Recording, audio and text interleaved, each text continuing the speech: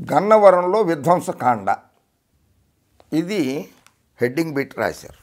విధ్వంస విధ్వంసం సృష్టించింది గన్నవరం ప్రజలు కాదు వల్లభనేని వంశీ మనుషులు కాదు. పక్క జిల్లాల నుంచి ఇతర రాష్ట్రాల నుంచి రౌడీ మూకల్ని గన్నవరంలో దింపి వాళ్ళతోటి అరాచకం సృష్టించాడు పెద్దబాబు చిన్నబాబు చిన్న బాబు ఇద్దరు కూడా. ఈయన పేరేంటో ఉందే? ఈయన తప్పిపోయాడు అంటుంది వాళ్ళ భార్యామణి గారు. పోలీసులు అరెస్ట్ చేశారు. తప్పిపోలేదు. రెండు రోజుల నుంచి గత నాలుగు రోజుల నుంచి లేటెస్ట్గా బుద్ధా వెంకన్న పట్టాభి రెచ్చిపోయి అడ్డగోలుగా మాట్లాడేస్తున్నారు జగన్మోహన్ రెడ్డి గారిని. జగన్మోహన్ రెడ్డి గారి భార్యని భారతమ్మని గతంలోనేమో జగన్మోహన్ రెడ్డి గారి తల్లి విజయమ్మని సోదరి షర్మిలమ్మని ఇప్పుడు కొత్తగా భారతమ్మను కూడా చేర్చేసి దుర్భాషలాడడం మొదలెట్టారు. బండబూతులు తిట్టడం మొదలెట్టారు. కొడాలి నానిని గడ్డం బ్యాచ్ అంటారు. మరి వీళ్ళదేంటో బొల్లిగడ్డం బ్యాచా? చిన్నబాబుది బుల్లిగడ్డం బ్యాచా? సరే ఎక్స్ప్రెస్ న్యూస్ సర్వీస్ విజయవాడ వాళ్ళు రాశారు. High tension prevailed in Gannavaram town on Monday evening as supporters of YSRC MLA Vallabhaneni Vamsi Mohan vandalised the local TDP office torched a car and damaged several other vehicles on the premises Vallabhaneni Vamsi మనుషులు చేశారు అని చెప్తున్నారు ఇక్కడ. వల్లభనేని వంశీ మనుషులు చేయలేదు. తెలుగుదేశం వాళ్ళే చేశారు అక్కడ. తెలుగు దోపిడీ దోపిడీదారుల పార్టీ కార్యకర్తలే చేశారు. తెలుగు బందిపోటు దొంగల పార్టీ వాళ్ళే చేశారు అది. వల్లభనేని వంశీ మీద వైఎస్ఆర్ కాంగ్రెస్ పార్టీ కార్యకర్తల మీదకి నెడుతున్నారు. ఆ పోలీసులకి దెబ్బలు తగిలినాయి కదా. పోలీసులను కొడతారు అధికార పార్టీ వాళ్ళు కొట్టరు కదా. Opposition TDP and ruling YSRC leaders had been trading charges at each other for the past three days it all started with TDP official spokesperson Kommareddy Pattabhiram reportedly making derogatory remarks against Jaganmohan Reddy during media conference two days back Pattabhi అనే అతను జగన్మోహన్ రెడ్డి గారి మీద అనుచిత వ్యాఖ్యలు చేయడంతో గొడవలు మొదలైనవి వంశీ మీద వల్లభనేని వంశీ మీద కావచ్చు కొడాల నాని మీద కావచ్చు గత రెండేళ్ళలో సోషల్ మీడియాలో ఎన్ని రకాలైనటువంటి దుష్ప్రచారాలు చేశారు? వంశీ గిల్లుబాబు గిల్లు గిల్లుబాబు గిల్లు అని అడుగుతాడు చిన్నబాబు. ఏంటి గిల్లేది? నిన్ను గిల్లేది ఏంది? నిన్ను గిల్లితే గజ్జి అంటుకుంటుంది. నిన్ను గెల్లక్కల్లా. గిల్లించే చాలా సంవత్సరాల క్రితమే గిల్లిచ్చేసుకున్నావు నువ్వు. నలభై ఏళ్ళ రాజకీయ అనుభవం ఉందంటావు. పద్నాలుగు సంవత్సరాల ముఖ్యమంత్రిని తొమ్మిది సంవత్సరాల ప్రతిపక్ష నాయకుడిని అంటావు. అసలు క్రమశిక్షణ లేని రాజకీయ నాయకుడిలాగా ఓ ముసలి చంద్రబాబు నాయుడు కార్యకర్తలను రెచ్చగొడతాడు పోలీసుల్ని రెచ్చగొడతాడు పోలీసుల మీద దాడులు చేయిస్తాడు పోలీసులతోటి అనుచితంగా ప్రవర్తిస్తాడు. చంద్రబాబుని రాజకీయ నాయకుడు అనకూడదు. పొలిటికల్ టెర్రరిస్ట్ రాజకీయ టెర్రరిస్ట్ చంద్రబాబు నాయుడు అనాల. పోలీసులపై సహాయ నిరాకరణ అంట. వాళ్ళకి సహాయ నిరాకరణ చేస్తే ఎవరికి నష్టం? చంద్రబాబు నీకే నష్టం. నీ వెనకాల కాకి డ్రెస్సు పోలీసులు నల్ల డ్రెస్సు పోలీసులు వంకాయ రంగు డ్రెస్ పోలీసులు నాలుగు రకాల పోలీసులతోటి నువ్వు నడుస్తున్నావు రోడ్ల మీద. నువ్వు పరిపాలన సాగించినప్పుడు అరాచకాలు చేసావు చూసావా? దోపిడీ చేసేసావు కదా ప్రజాధనాన్ని. అది ప్రజలు ఎక్కడ కక్కిస్తారో అని ఇన్ని రకాల పోలీసులను పక్కన పెట్టుకుని వాళ్ళు ఎదుర్కొండానే పోలీసుల్ని తిడతావా? ప్రభుత్వ ఉద్యోగుల్ని తిట్టచ్చా? నీ మీద కేసు పెట్టచ్చు కదా ప్రభుత్వ ఉద్యోగుల్ని దూషించారని. వారి విధులకు ఆటంకం కల్పించావు నీ మీద కేసు పెట్టచ్చు కదా? అదే సహాయ నిరాకరణలో అంటున్నావు కదా. నీ బ్లాక్ క్యాట్ కమెండేషన్ తీయించేసుకో. దమ్ము ధైర్యం ఉంటే నీకు తీయించేసే. అబ్బా చాలా కాలం తర్వాత.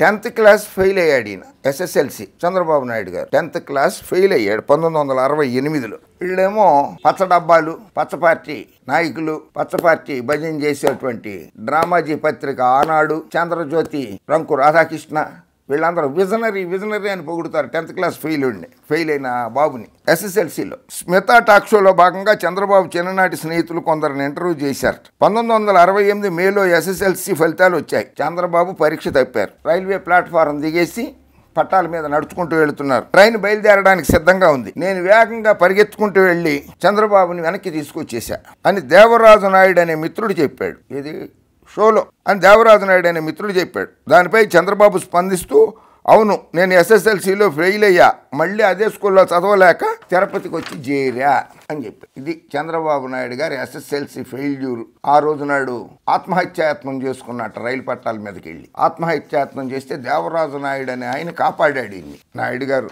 మీరు చాలా మంచి పని చేశారు. ఓ ప్రాణాన్ని కాపాడారు. ఓ ప్రాణాన్ని కాపాడారు. నిజమే. అది మానవత్వం మీలో ఉంది నాయుడు గారు. ఆ మానవత్వం అనేది బాబు గారి దగ్గర లేదు. మీలో ఉన్నది దేవరాజు నాయుడు గారిలో ఉన్నది మానవత్వం. బాబు గారి దగ్గర లేదు. ఆ రోజు నాడు కనుక జరగరానిదే కనుక జరిగి ఉండుంటే ఎన్టీ రామారావు గారికి వెన్నుపోటు పొడిచేవాడు కాదు. ఎమ్మెల్యే అయి ఉండేవాడు కాదు. కాంగ్రెస్కి వెన్నుపోటు పొడిచి ఉండేవాడు కాదు. టికెట్ ఇచ్చి గెలిపించిన ఎమ్మెల్యేగా గెలిపించినటువంటి కాంగ్రెస్ కూడా వెన్నుపోటు పొడిచాడు ఆ రోజుల్లో. ఇందిరమ్మ గారికే వెన్నుపోటు పొడిచాడు.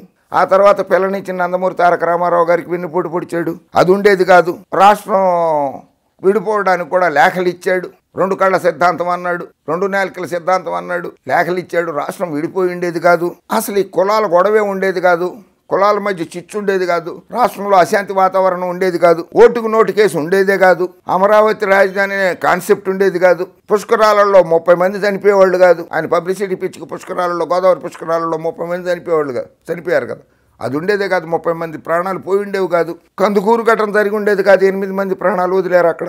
గుంటూరులో ముగ్గురు ప్రాణాలు గాలిలో కలిసిపోయాయి. అది ఉండేది కాదు ఆ సంఘటన జరిగి ఉండేది కాదు. ఎయిర్పో ఏ- ఏర్పేడు చిత్తూరు జిల్లా ఏర్పేడులో ఇసుక అక్రమ రవాణా చేస్తుంటే ఆ లారీని ఆపినందుకు అదే లారీతోటి ఏడుగురిని బ చనిపోవడానికి కారణమయ్యాడు. ఆ సంఘటన జరిగి ఉండేది కాదు. బషీర్బాగ్లో కాల్పుల ఘటనలో రైతులు చనిపోయి ఉండేవాళ్ళు కాదు. హైదరాబాద్ ఇందిరా పార్క్ దగ్గర మహిళా అంగన్వాడీ కార్యకర్తలని గుర్రాలతోటి తొక్కించేవాడు. ఆ సంఘటన జరిగి ఉండేది కాదు. సరే ఓకే. ఆయనకి విధి రాసి పెట్టున్నది. చాలా కాలం బ్రతికుండాలని. ఆయన బతికుండాల్సిందే ప్రజలకు మరింత సేవ చేయాలి బాబు గారు. ఆ రోజు నాడే పంతొమ్మిది వందల అరవై ఎనిమిదిలో రైలు పట్టాల మీద కనుక ప్రాణాలు వదిలేసి ఉంటే ఈ రోజునాడు ఇంత గోల జరిగి ఉండేది కాదు కదా? ఇంత చర్చించుకోవాల్సిన అవసరమే ఉండేది కాదు కదా మనకి? ఆ దేవుడు దేవరాజు నాయుడు రూపంలో వచ్చి చంద్రబాబును కాపాడాడు. అలాగే ఈ రోజునాడు అదే దేవుడు తెలుగు ప్రజల్ని కాపాడతాడని ఆశిద్దాం మనం కూడా. సారావారి కుటుంబంలో పిచ్ అనే జన్యువులు ఉన్నట్టు జీన్స్. తమ్ముడిని గొలుసులతోటి కట్టేశాడు కదా? ఇంకో ఏడాది రెండేళ్ళు ఇరవై నాలుగు ఎన్నికల తర్వాత పెదబాబుని చిన్నబాబుని కూడా గొలుసులతోటి కట్టేయాల్సి వస్తుందేమో. ఇప్పటి నుంచే గొలుసులు రెడీ చేసుకోవాల్సిన అవసరం వచ్చిందల్లే ఉంది. ఎందుకంటే పెదబాబు గారేమో సైకిల్ పోవాలి అంటున్నాడు. చిన్నబాబు గారేమో సైకిల్ గుర్తుకి ఓటేస్తే మనకు మనం ఊరేసుకున్నట్లే అంటున్నాడు ఆయన. ఇప్పుడు లేటెస్ట్గా ఒక నాయకుడు తెలుగుదేశం నాయకుడు. తెలుగుదేశం నాయకులు అన్నం తింటున్నారా గడ్డి తింటున్నారా అన్నాడు. బాబు కొంచెం ఆ వీడియోలు ప్లే చేయండి ఆయన. బాబు గారి వీడియో చిన్నబాబు గారి వీడియో తెలుగుదేశం నాయకుడు అన్నం తింటున్నారా గడ్డి తింటున్నారా అన్నటువంటి వీడియో మూడు ప్లే చేయండి అన్న. పదవిలో లేకపోతే పిచ్చి పెట్టింది వీళ్ళకి. కళ్ళు తాగిన కోతిలా బిహేవ్ చేస్తున్నారు.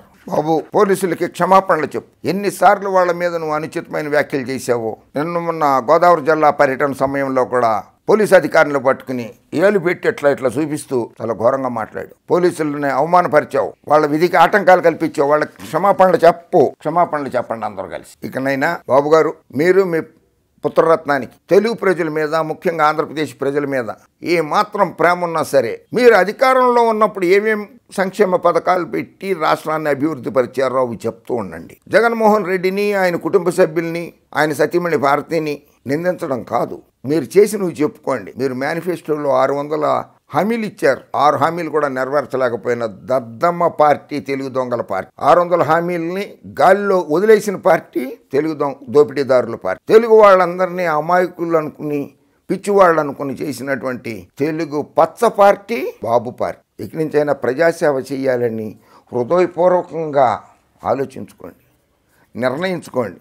ఒక గట్టి నిర్ణయం తీసుకుని నిజంగానే ప్రజాసేవ చేయండి. బాబు గారు మీరు చిన్నబాబు గారు మీరు చేస్తే మంచిదే. వద్దనరు. ఎవరు ప్రజలు ఎవరో కాదనరు. మీరు సేవ చేస్తానంటే సేవ చెయ్యండి. అసత్యాలు చెప్పకండి. అశాంతి వాతావరణాన్ని నెలకొల్పకండి. ప్రజల ప్రాణాలని గాలిలో కలపకండి. ఇదే నా ప్రార్థన. జై హింద్.